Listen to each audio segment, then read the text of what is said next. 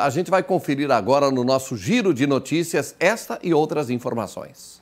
Devido à baixa procura e à redução do número de casos, a Prefeitura de Nova Veneza vai desativar o centro de triagem que fica localizado no Hospital São Marcos. A partir da próxima segunda, os moradores que tiverem sintomas gripais devem procurar as unidades básicas de saúde para atendimento.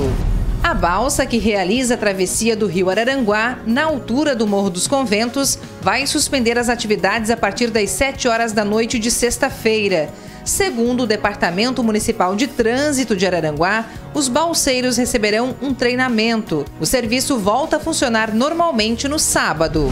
A CDL, Câmara dos Dirigentes Logistas de Criciúma, lançou o concurso de vitrines Natal 2021.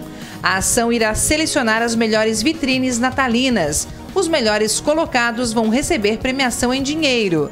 Se a empresa não tiver vitrine, poderá participar por meio da decoração da fachada e áreas externas. As inscrições são gratuitas e podem ser feitas até o dia 3 de dezembro.